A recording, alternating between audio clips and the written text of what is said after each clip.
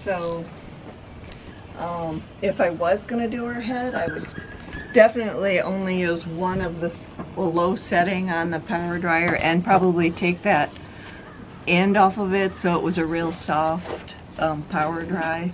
And then definitely you can put a cotton ball in each ear. Just remember to take them out so she doesn't hear it when you're doing the head. It, once she advances to that stage and close this.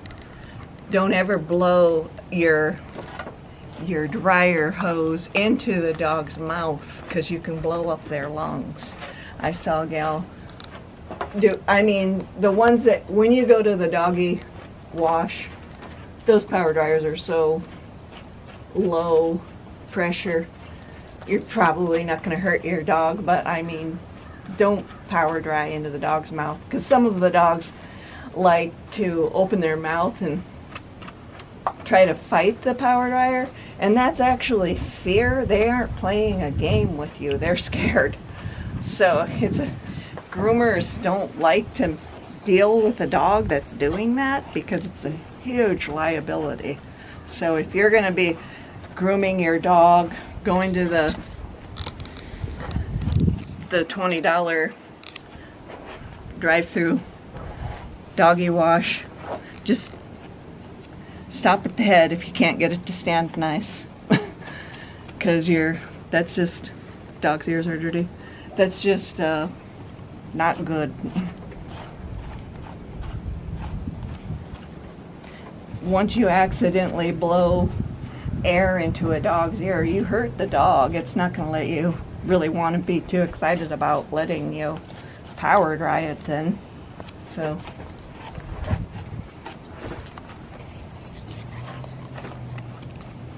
Wow, yesterday we tried to power dry this dog and it took both of us. We ended it on a good note, but look how good she was today. Look at how good she's, I couldn't even get her hardly to stand on the table.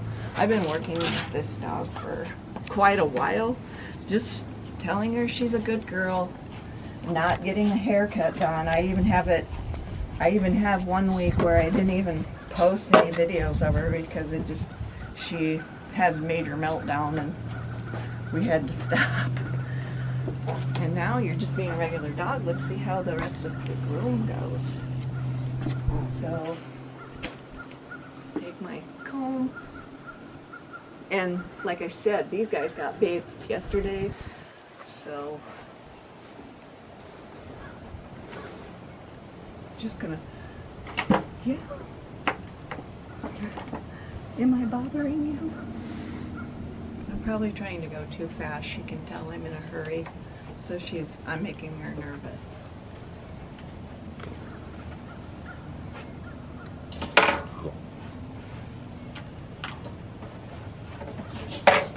So I'm just gonna, I'm just gonna stop for a second here keep everything positive. Yeah, because you're being good.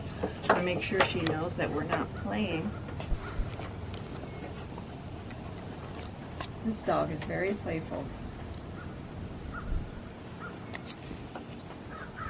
And her coat is pretty thick, so. Okay. Good girl, good girl.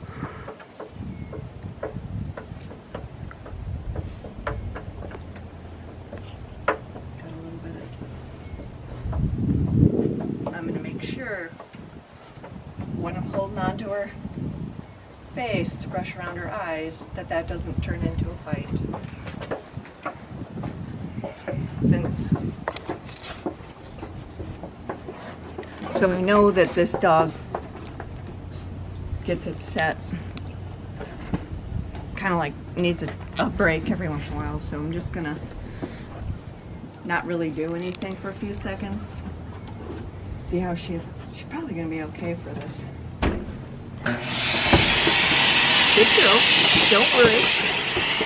Don't worry. Yeah, good girl. Is that making a different noise?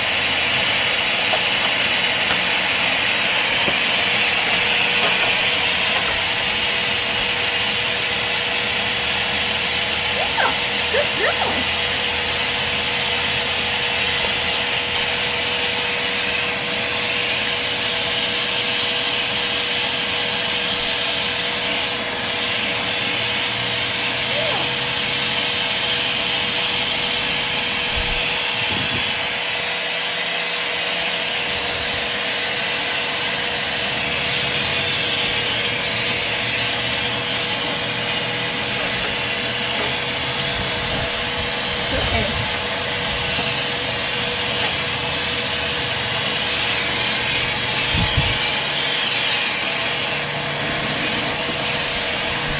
offering a lot of support her belly and by her hind leg. So this haircut probably isn't going to be perfect because I'm kind of changing the shape of her body. So if you were, if this wasn't my dog and it was your dog and you were coming back and something like that is visible to you, now you know why. She's still being excellent.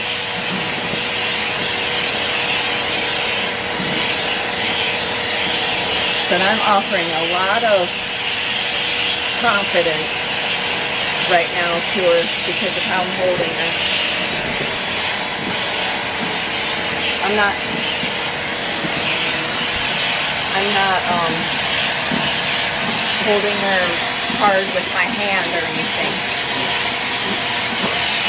Grabbing her. I just have my hand my arm under there.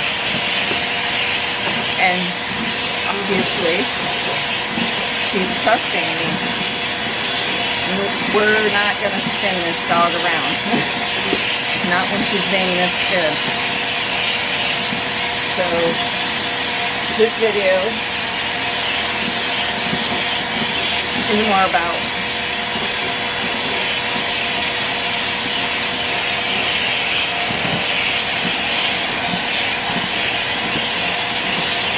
that could have gone really wrong if if we wouldn't let her decompress a little bit. And then she's gonna go down. I'm not gonna get very close to her. Yeah, this is a yeah, good girl. When she starts to squat like that, I'm just gonna give her a second to decompress. That means she's afraid.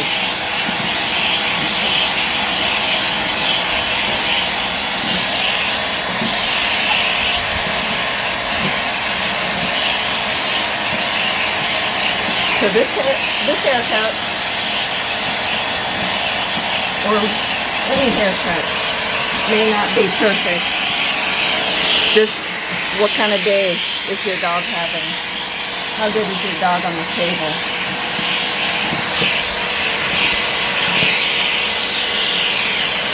Maybe, maybe your dog just needs to go to the grooming shop and that's all it can handle that day because it's a new shop. It's good for you, but not good for the groomer. Well, you, you got, it went for a car ride. It's in a new shop. Maybe normally a good dog isn't going to be able to handle all of that. So pay your groomer the 30 bucks or whatever just for boarding that day.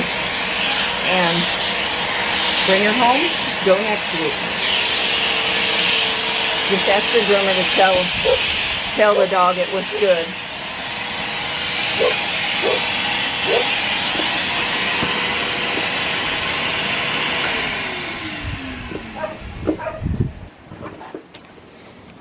You're such a good girl. So I'm gonna hold her, see if she, I'm gonna brush this. And I'm not gonna worry about every little lick knot because as I shorten hair, I'll probably get most of them out. If you start doing the lick knots, every time my son moves, she gets excited, so that's what that's what's happening right there. And yeah, good girl. Just make sure I'm not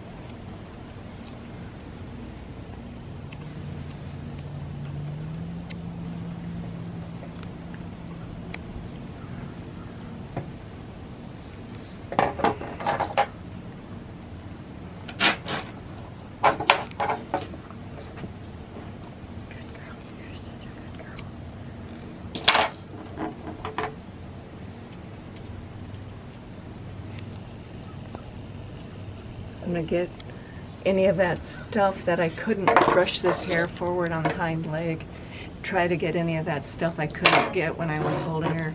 But I'm not going to worry too much about it. I'd like to, her to be somewhat finished by the time I get done. So I'm to let some stuff go.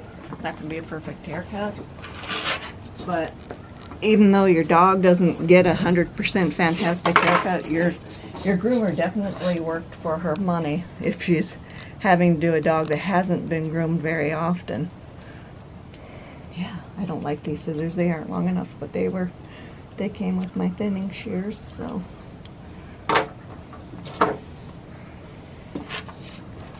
Brush this hair forward again.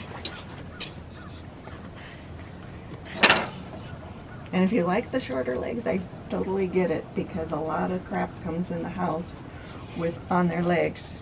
So just take your I'm not going to do it because some whoever wants to get this puppy isn't going to want shaved legs, but um, you can just take your um, clippers and trim down them real quick. I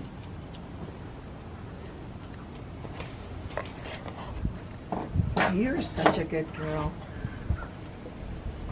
The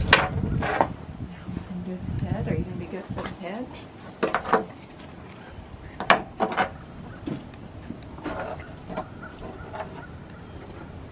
Brush it, brush off, yeah?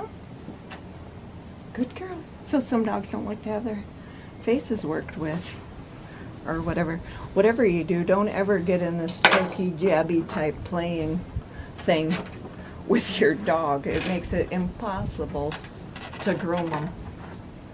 I, I, I see people popping their dogs' noses for fun and somehow they think that's a, a nice way to play with them. No, it makes them impossible to work with. So when you're using these, you're going to want to make sure any hair that's in in your deal your teeth of your thinning shears gets um, taken out. Otherwise, you'll be taking bigger chunks of hair than you realize. I'll brush all this hair forward. I mean, to the side and hold the ear down. And by doing that, I'll get this little wild. So she'll have more of a, a nice rounded little head.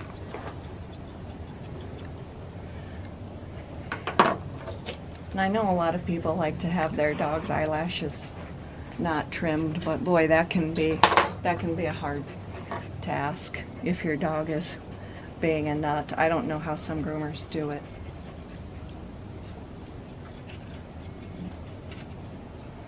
Some of these groomers are so good at what they do. It's, it's just amazing.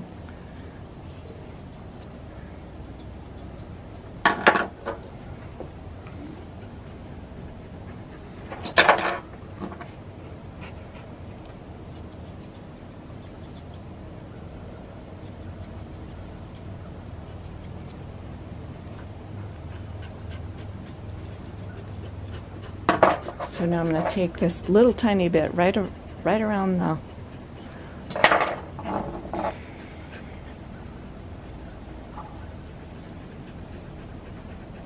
I try to make a little V or whatever. Then, because people really like to be able to see those eyes. And, you know, probably the dog likes to be able to see. there we go.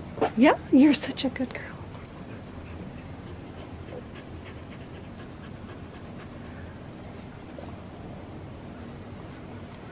So we got a little bit of a little bit right in here. I'll take that off. I'm not gonna, you know, she doesn't want to stand right then.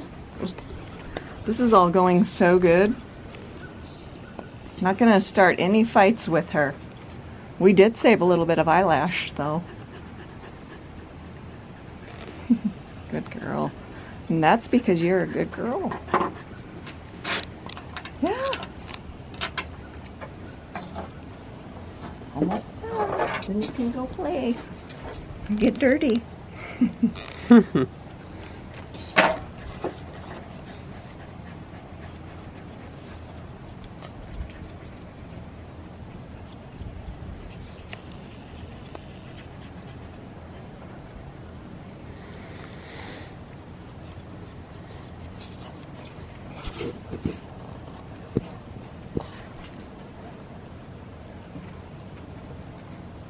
we go. There we go. So you did really good. Too long ago, we just had to stop and left you half groomed. Didn't we? About a month ago. Now you're wagging your tail on the grooming table. Mhm. Are you a good girl? Okay, That's good.